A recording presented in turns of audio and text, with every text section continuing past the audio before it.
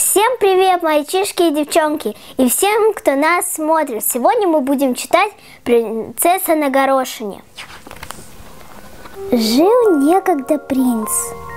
Вот пришло ему время жениться, и решил он взять в жены принцессу, но не какую-нибудь, а самую настоящую. Он объехал весь свет, но невесту себе так и не нашел. Принцесс везде было много, да только как узнать, настоящие они или нет. Вернулся принц домой и загоревал. Очень уж ему хотелось жениться на настоящей принцессе. Как-то раз под вечер поднялась сильная буря.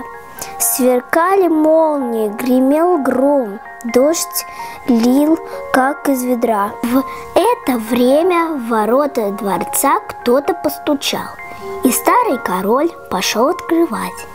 У ворот стояла принцесса, вода ручьями стекала по ее волосам и платью, прямо на туфельке. Бедняжка была такой мокрой, будто ее вытащили из реки. Но при этом она уверяла, что является самой что ни на есть настоящей принцессой. А это мы сейчас увидим, подумала старая королева, но ничего не сказала.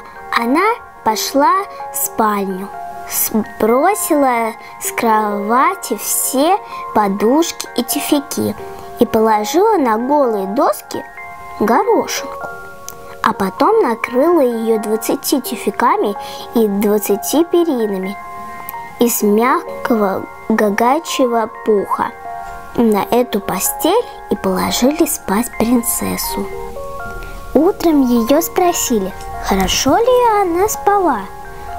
«Ах», — сказала принцесса, — «очень плохо.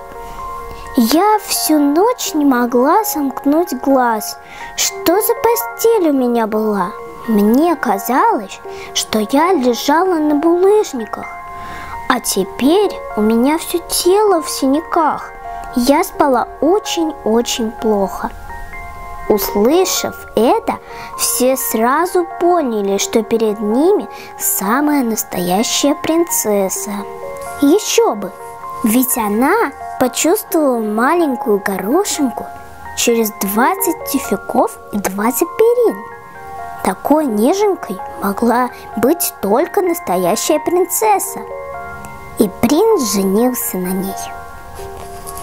А горошинку отправили в музей, где она лежит до сих пор.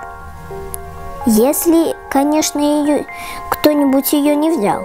Вот какие бывают истории.